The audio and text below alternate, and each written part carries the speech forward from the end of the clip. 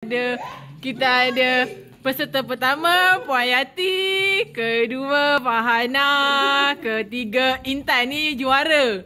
So kita tengok dalam pertandingan ni siapa pula juara eh? Tiga, dua, satu, mula!